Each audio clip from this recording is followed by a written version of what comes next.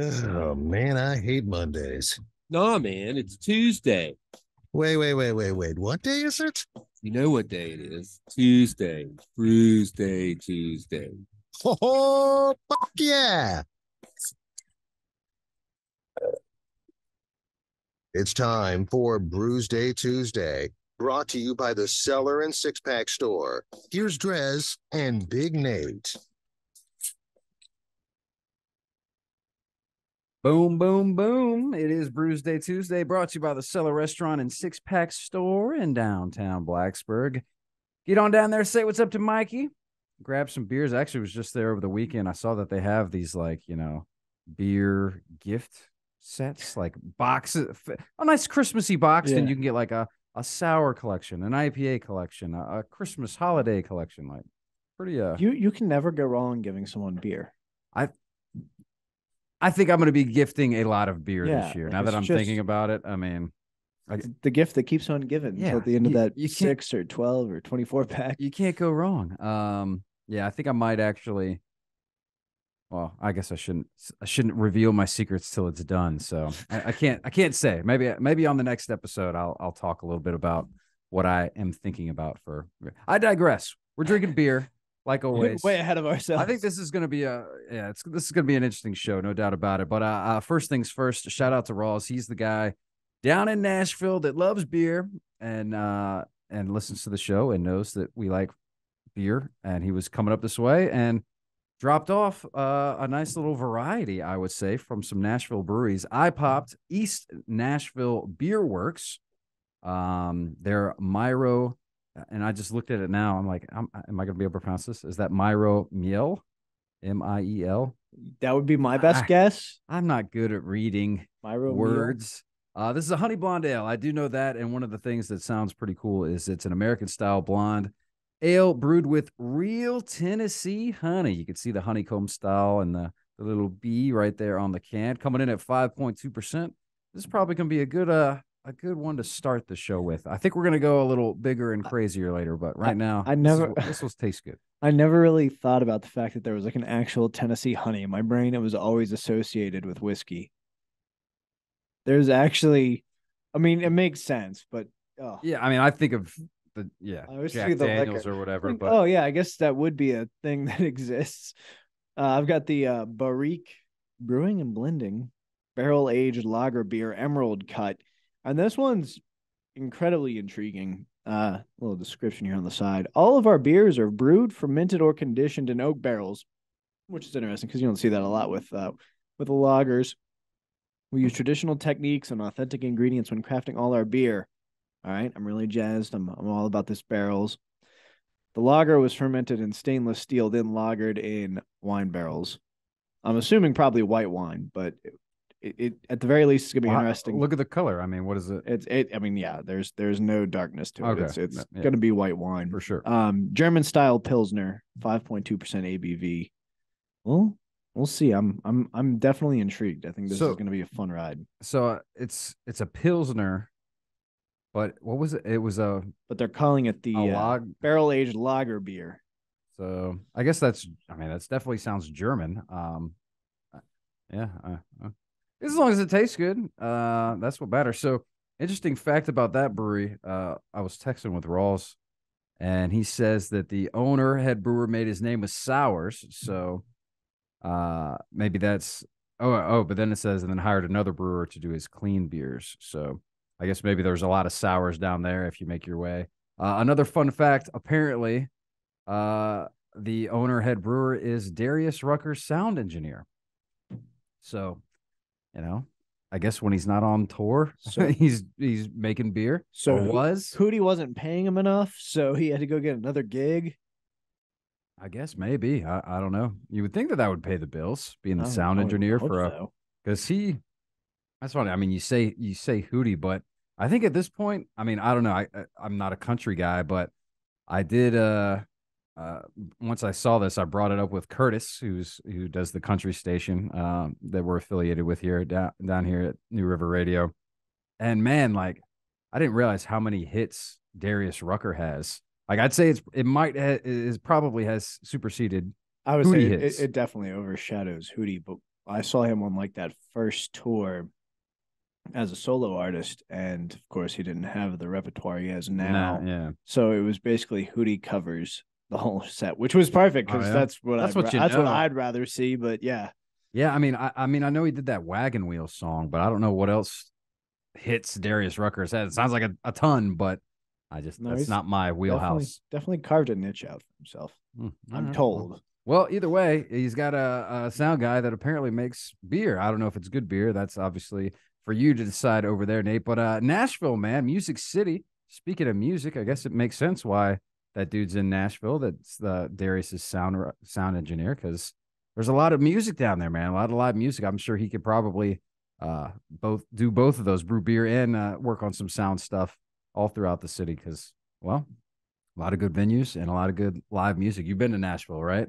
Uh, yes, but not when it would have been fun for me. You were like I a was, I child. was young, yeah. So I mean, this is interesting. The other thing, like speaking on time, this was from start to finish eight weeks of production. Some of that's aging, so you got some time to sit and wait. Yeah, yeah. So I mean, how he's managing it. part of the process. Yeah, right. you got time to kill. Um, so I was in Nashville. I guess most recently it was we made a pit stop there as part of the RV trip, and luckily I was staying with my cousin who also is a pretty big beer guy. So I do remember going to a few breweries with him. One of which, the one that I remember, I mean, I'm the one that stands out was uh, it's Yazoo, right? Um, they had I've had some of their beers before. I know that they're one of the bigger guys out there in Nashville. Um, had a bigger operation. So the big big brewery, uh, we got to get out there at a fire pit. Nice, nice, um, solid selection of beers to try.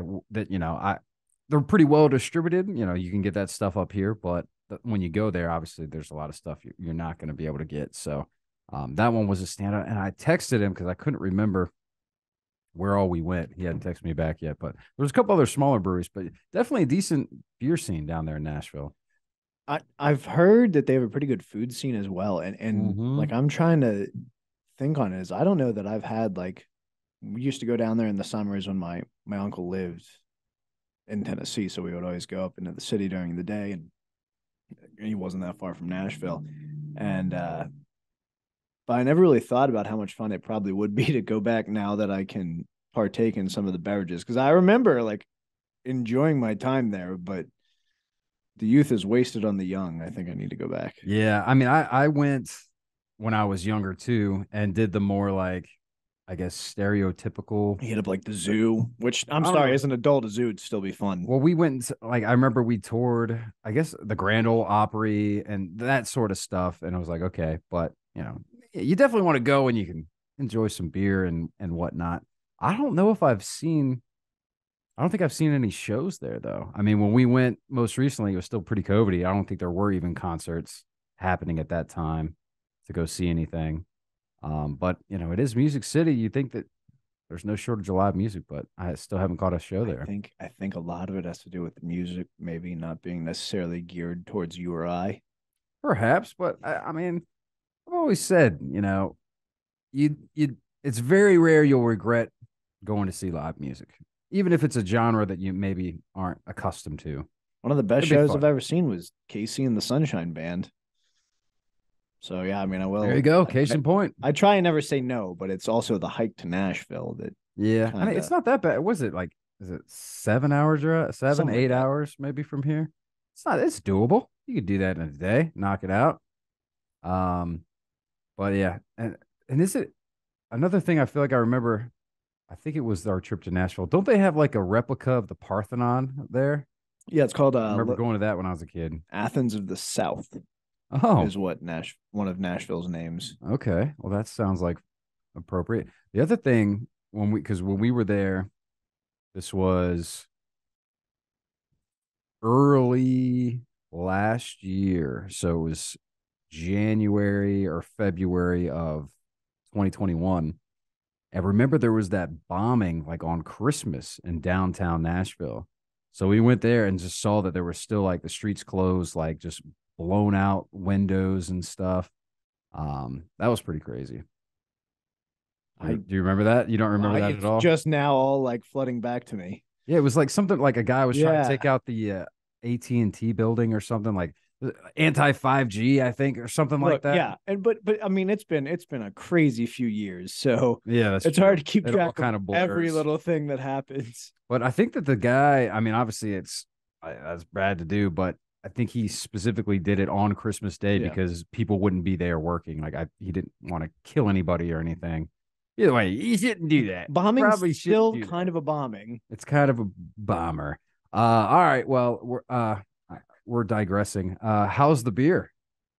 Honest, I mean, and we we've talked about it before. Pilsners and lagers aren't necessarily my favorite. I feel like there's not a lot of places that really reinvent the wheel when it comes to the style. But I guess I'm going to eat my words today. This is actually really crisp, really refreshing. It doesn't. My biggest problem with like lagers and pilsners is you have a lot of that lingering aftertaste that kind of just makes it like, oh man, this is heavy. I don't want to sit here and, and and keep drinking this. Whereas with this, it's got a very like crisp feeling to it, and it's absolutely delicious. I think aging it in the uh, wine barrels absolutely makes a difference.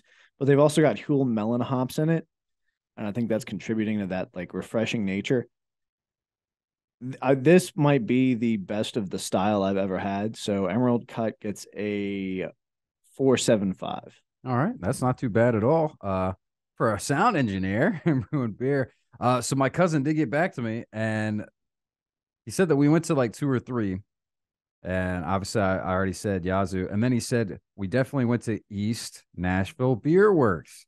So and and sure enough, I just googled it, and this is the one, the other one that I remembered. I just couldn't remember the name of it. So, uh, yeah, I do remember they had a pretty decent beer selection and some decent beers, and this one uh, certainly falls in that direction as well. Nice light lacing, which you would expect for with a blonde ale, man, and you definitely get those notes of honey, not only on the on the palate but also on the nose, which is what you would hope and expect for. I rarely drink or seek out blonde ales uh, these days, but when you get one that's done well, um, it can be quite refreshing. A nice, easy drinker, no doubt about it.